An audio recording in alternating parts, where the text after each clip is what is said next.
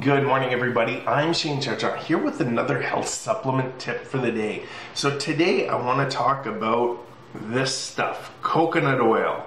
It's a big jar of fat. Now, you may ask yourself, why would I want to take some of this fat every day? I'm going to tell you why because it's not like any other fat. When you take this type of fat into your body, it does wonders. So, for one, it contains something called caprylic acid. And if you suffer from yeast overgrowth, what caprylic acid does, it uh, helps to kill off candida cells. So it's very good to help combat yeast overgrowth.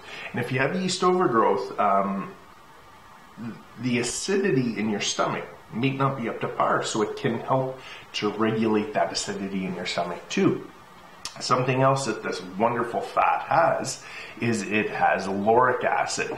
Now, when you take in lauric acid, what that's going to do, it creates a compound that makes um, makes it antibacterial, it makes it antiviral, and it makes it antifungal. So that helps to starve off infection. It, it's fantastic stuff. Coconut oil has so many uses. You can actually just Google right now as you're watching this and just listen coconut oil benefits. You're going to find a ton of stuff. And I'm sure you have, but maybe you want to learn a little bit more. Something else that this fat has is MCT oil. Now, MCT oil is kind of the reason as to why I'm making this video today. One, it's it's great for weight loss. And a few years ago, everybody was coming in health food stores just to buy coconut oil because they heard it was so good for people with low thyroid um, to help them lose weight. I'm actually starting to use it again and I've just begun using it.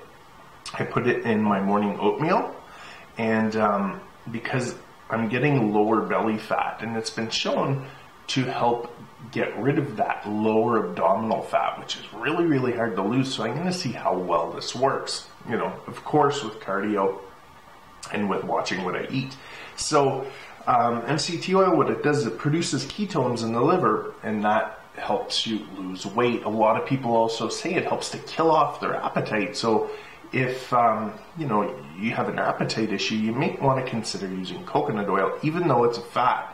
And you're looking at it going, why the heck would I want to use all this fat if I'm trying to lose weight?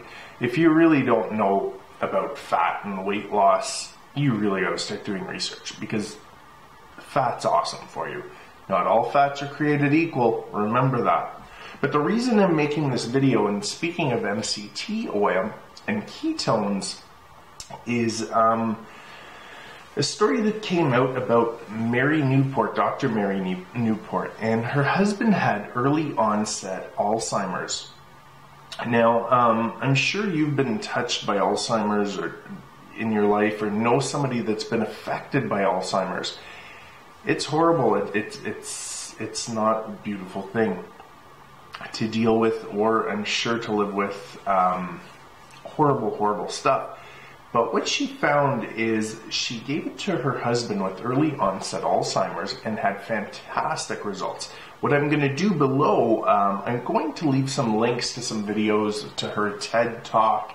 Um, and just a couple of her videos and videos are relating to coconut oil and Alzheimer's, and you can kind of take a look um, a little further into this. But what she did was she gave um, three tablespoons three times per day to her husband, and she gave two tablespoons right before bed. So that was coconut oil four times per day. And she noticed significant difference in, you know, how he was thinking, how he was, everything like that.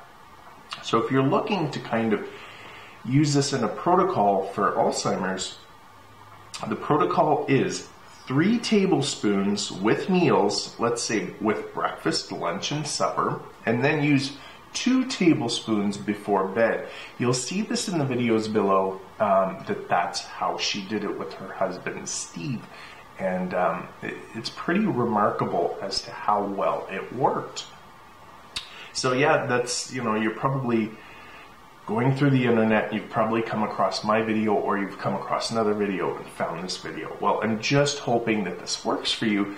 And I'd really, really like to know the results you get so you can, you know, let me and let the other viewers know in the comments below how well this has worked for you or someone you know with Alzheimer's if you've had any um, any results.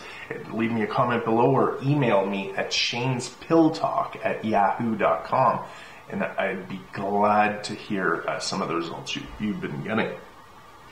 Now, if you just want to use coconut oil for everyday use, just for the great benefits it has that you will find all over the internet, try for two tablespoons per day, two and a half tablespoons per day.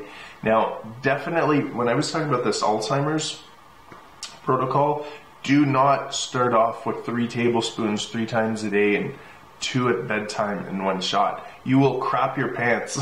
this is fat. It will lubricate everything and you will basically get this abdominal distress.